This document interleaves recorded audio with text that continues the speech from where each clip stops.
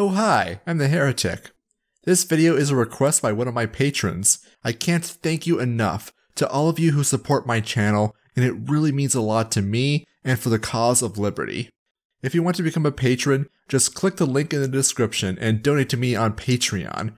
Now, indoctrination. What does it mean? How does it work? How does one become indoctrinated? Could you be indoctrinated? Could I be indoctrinated? We'll explore this topic and more. But before we start, let's define our terms. So, what is indoctrination? Indoctrination is the process in which a person is inculcated into a certain idea or perspective, typically done through repeated exposure to the idea in question in the absence of other ideas that might be contrary or even critical to the original idea. What happens is that the indoctrinated are insulated from these competing ideas, or if they are mentioned, the well is so poisoned that they can't possibly critically examine these ideas.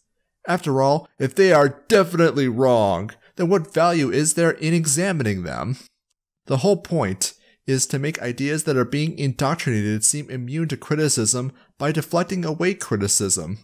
If someone critically thinks about the ideas presented to them, they may notice inconsistencies, hypocrisy in its leaders, and other failings in the idea that cast doubt on its legitimacy. If the indoctrinated express these doubts openly, then they are set upon, derided, and humiliated for questioning accepted orthodoxy.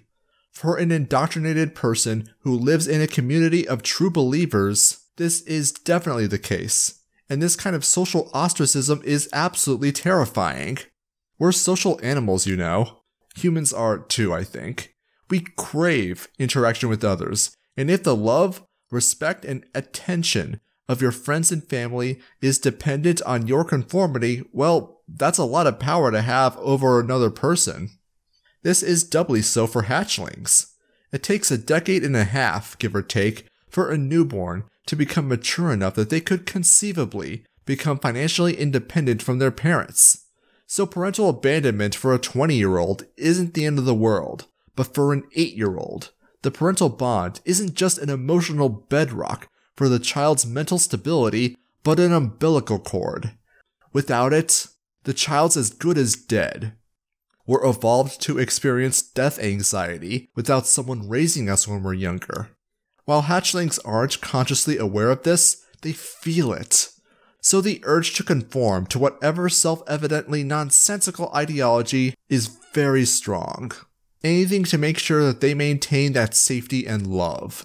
Their minds, with the encouragement of the indoctrinators, will rationalize away their doubts at some fault or deficit on their part.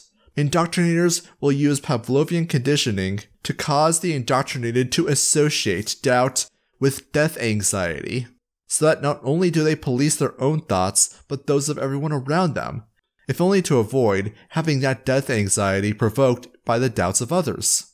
With the indoctrinated becoming the indoctrinators, policing their peers for deviancy, we've come full circle. The indoctrinated is thoroughly programmed into the orthodoxy and regards opposing ideas with the same virulent hatred that one might regard a child molester. Though indoctrination is typically associated with the religion, it isn't exclusive to it. Governments indoctrinate their people through government schooling systems. Cultures assimilate their young into the tastes, manners, and values of the local regions. People can be indoctrinated into brand loyalty. The point is, any idea for any purpose anyone could possibly conceive of, someone can be indoctrinated into it. You, watching this video, might have some views you've been indoctrinated into and not even know it. So it's important to ask yourself some questions. Think about what you believe, what you know to be true, how you know it's true, as opposed to alternative ideas. Can you refute competing ideas with logical, rational arguments instead of emotional or subjective appeals? How were you exposed to these ideas in the first place? How do the people around you treat dissenting ideas and those who hold them? How are you treated if you dissent? You will know you were not indoctrinated if opposing views were presented openly, if proof for its validity exists in a logical framework outside of itself, In other words, it doesn't rely on circular reasoning for validation. By using this framework, you can objectively judge opposing ideas as well without having to rely on emotional appeals. A good example is anti slavery.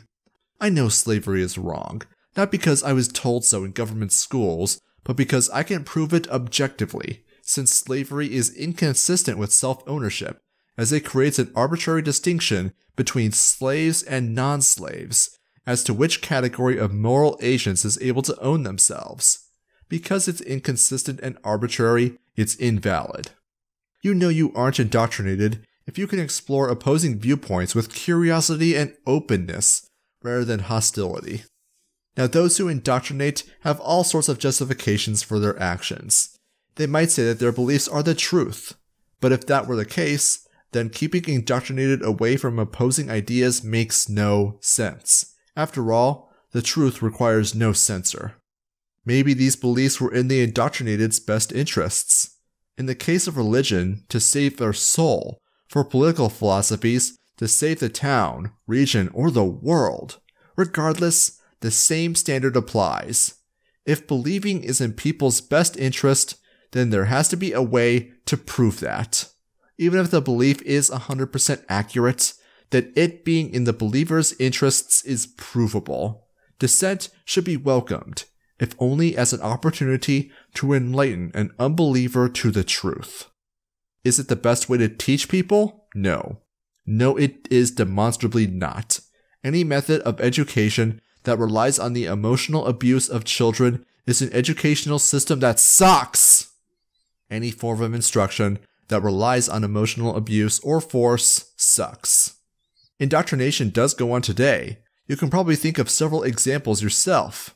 I could explore examples of indoctrination, but that's beyond the scope of this video, maybe at a later time.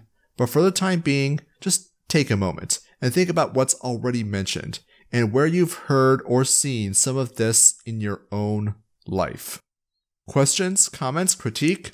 Psychology is not a topic I usually talk about, so how do you think I did? Leave a comment below.